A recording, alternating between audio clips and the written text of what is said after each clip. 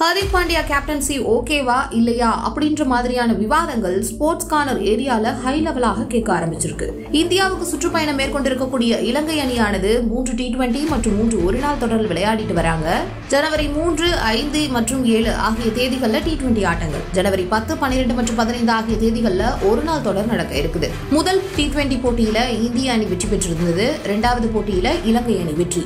இன்னைக்கு மூன்றாவது ஆட்டத்தில் யார் வெற்றி பெறுறாங்க அப்படின்ற அடிப்படையில தான் தொடரை கைப்பற்றுபவர்கள் யார் அப்படின்ற கேள்விக்கு பதில் கிடைக்கும். இப்படி இருக்கும்போது இளம் வீரர்களை கொண்டு களமாடி வரக்கூடிய இந்திய அணி இந்த முறை சாதிக்குமா? இதன் தலைமையேற்றிருக்கக்கூடிய ஹர்திக் பாண்டியா சரி வருவாரா சரியில்லையா அப்படின்ற விவாதங்கள் கிரிக்கெட் ரசிகர்கள் மத்தியிலேயும் முன்னாள் வீரர்கள் மத்தியிலேயும் ஆரம்பிச்சிருக்கு. காரணம் இந்திய அணியின் நோக்கமே இப்போதிருந்தே இந்திய அணியில இளம் வீரர்களை உருவாக்கிட்டா. குறிப்பா டி டுவெண்டி டெஸ்ட் மற்றும் ஒரு நாள் ஒன் டே மேட்ச் அந்த பிரிவுகளில் உருவாக்கிட்டா. உலக கோப்பையை மோதும் போது இலகுவாக இருக்கும். அது மட்டும் இல்லாம சரியான அணியை உருவாக்கிட முடியும்னு பிசிசிஐ நம்பினதன் அடிப்படையில் உருவான ஒரு அணியின் உருவாக்கம் தான் இந்த இலங்கை அணிக்கு எதிரான டி டுவெண்டி மற்றும் ஒரு நாள் தொடரில் இருக்கக்கூடிய அணி வீரர்களின் உருவாக்கம். இதன்படி பார்க்கும்போது ஹர்திக் பாண்டியா தலைமையிலான இந்திய அணி மும்பையில் இருக்கக்கூடிய வான்கடை மைதானத்தில் முதல் போட்டியில் ஆடும்போது நூற்றி அறுபத்தி ரெண்டு ரன்களுக்கு ஐந்து விக்கெட்டுகள் அப்படின்றதுல ரெண்டு ரன்கள் வித்தியாசத்தில் வெற்றியை பதிவு செஞ்சாங்க. இலங்கை அணி அன்றைய ஆட்டத்தில் போராடினாலும் இந்திய அணி அன்னைக்கு பெற்றிருந்தது த்ரில் வெற்றி தான்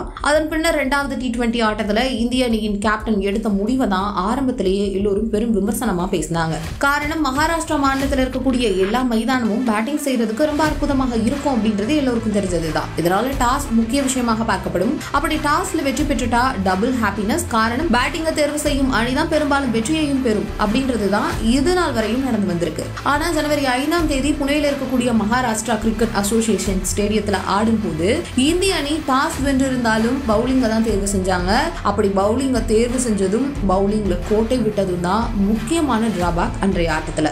இப்படியாக இந்திய அணி இரண்டாவது டி டுவெண்டி போட்டியில பதினாறு ரன்கள் வித்தியாசத்துல இலங்கை கிட்ட தோல்வியை தழுவினாங்க.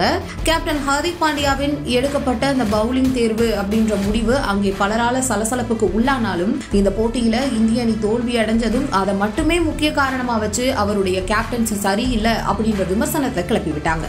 இந்த நிலையில தான் பல்வேறு முன்னாள் வீரர்களும் கிரிக்கெட் ரசிகர்களும் கேப்டன்சியை பத்தின நிறைய விமர்சனங்களையும் கருத்துக்களையும் சொல்லிட்டு வராங்க. அதன்படி பார்க்கும்போது கேப்டன்சியை கோட் செஞ்சு இந்திய அணிக்கே எச்சரிக்கை விடுத்திருக்காரு இந்திய அணியின் முன்னாள் வீரர் கௌதம் கேம்பர் ஹார்திக் பாண்டியாவை கேப்டனாக நியமிச்சிருக்கக்கூடிய நிலையில் அவர் தொடர்ந்து மைதானத்தில் ஆடிட்டு வரணும். அப்போ ஓய்வும் கிடையாது. ஒருவேளை அவருக்கு காயம் ஏற்பட்டுச்சுன்னா அவரை மாதிரி ஒரு ஃபென்டாஸ்டிக் வேகப்பந்து வீச்சாளரை இழக்க நேரிடும். இது இந்திய அணிக்கு மிகப்பெரிய பாதிப்பு.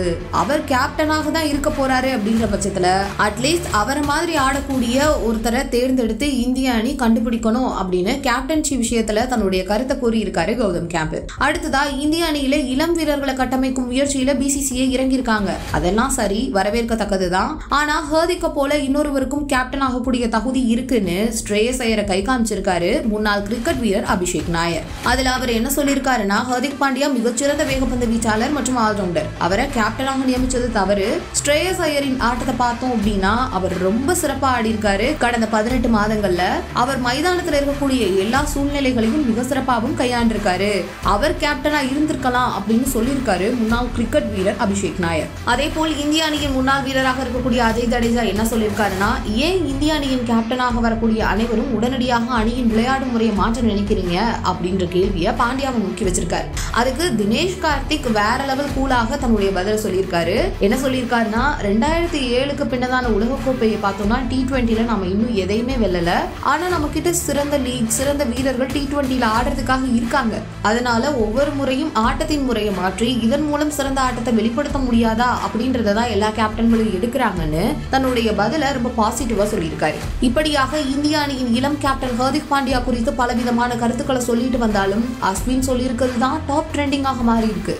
ஆமா இந்திய அணியில மிக குறுகிய காலத்துல கேப்டனாக ஹர்திக் பாண்டியா மைதானத்துல மிஸ்டர் கூலாக வலம் வராரு. அவர் எல்லாத்தையும் நிதானமா கையாளுறாரு.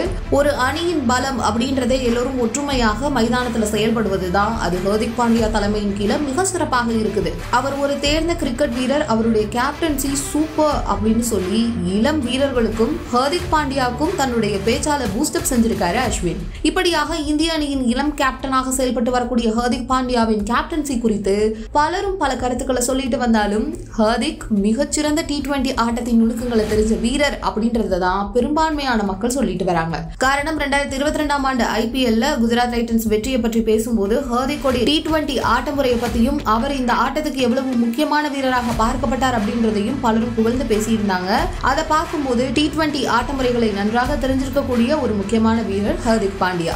ஆனாலும் இதையெல்லாம் விட இலங்கை அணிக்கு எதிரான கடைசி டி டுவெண்டி ஆட்டம் ஜனவரி ஏழாம் தேதியான இன்று ராஜ்கோட்ல இருக்கக்கூடிய சௌராஷ்டிரா கிரிக்கெட் மைதானத்தில் நடைபெற இருக்குது. இதுல இந்திய அணிக்கு வெற்றியை பெற்று தருவதுதான் ரொம்ப முக்கியம்னு சொல்லிட்டு வராங்க கிரிக்கெட் ரசிகர்கள். மின்னம்பலம் டாட் காம் தமிழின் முதல் மொபைல் பத்திரிகை.